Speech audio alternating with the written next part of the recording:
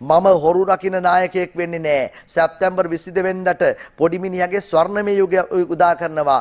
ඔබත් ලිංක් සුදන්තවලින්ම දත් මදින්න. කට පරිස්සං කරගත්තොත් අපි පරිස්සම්. විපක්ෂ නායකවරයා එහෙම කියද්දී මේ පාටලි චම්පික රණවක 2019 රටේ ජනතාව බය වූ නිසා ඡන්ද ප්‍රතිඵලය වෙනස් වුණා කියලායි කියන්නේ පාටලි චම්පික රණවකගේ ප්‍රකාශයක සටහන් කර තිබෙන්නේ මේ විපක්ෂ නායකවරයාගේ ප්‍රකාශය මම පැනලා ගියේ නෑ පලා යන්නෙත් නෑ පක්ෂ නායකත්වයේ රැග්ගන්න වෙනත් කෙනෙක් ඉදිරිපත් කළෙත් නෑ විපක්ෂ නායකවරයා කියනවා. ජනාධිපති රාජපක්ෂලා ආරක්ෂා කරන පොලිස්පති වෙලා මේ අද දිවයින පුවත්පතට විපක්ෂ නායකවරයා දක්වන අදහස සටහන් කරන්නේ. ඒ අතරේම දිනමිනේ වාර්තාව විධායක ජනාධිපති ක්‍රමය අහෝසි කර පාර්ලිමේන්තුව කේන්ද්‍රීය පාලනයක් ඇති කරනවා. මේ රක්ෂණ ශ්‍රියන්තගේ වාර්තාවකයි එලෙස සටහන් කරන්නේ. ඒ අතරේ මම ජනාධිපති වූ පසු පගාවට ලබා දුන් මත්පැන් බලපත් අහෝසි කරනවා.